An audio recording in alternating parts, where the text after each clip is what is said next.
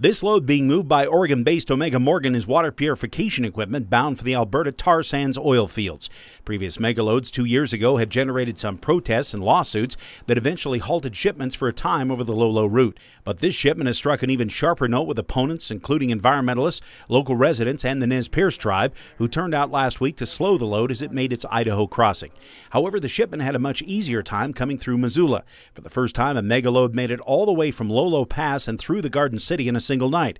About 30 protesters showed up on Reserve Street, briefly blocking the way until officers convinced them to move along or face arrest. While some opponents remain concerned about the traffic impacts of the megaload shipments, much of the concern is still focused on the environmental impacts of the shipments and development of the oil fields. And it's just part of a um, sort of larger set of fossil fuel extraction issues that um, is sort of facing Montana right now. And um, we're just kind of adding our voice to the mix and letting people know that we're out here and that we're opposed to this.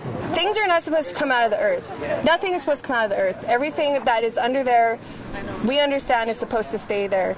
From here on, the Omega Morgan load will be making its way up Highway 200 and then north along the Rocky Mountain front. Generally speaking, we're not expecting to see much more in the way of protests, although some in Augusta and Choteau have been concerned about the traffic impacts of previous loads and could show their opposition. A second load is ready to roll on the same route, but opponents are asking a federal judge to block that shipment. In Bonner, Dennis Bragg, MTN News.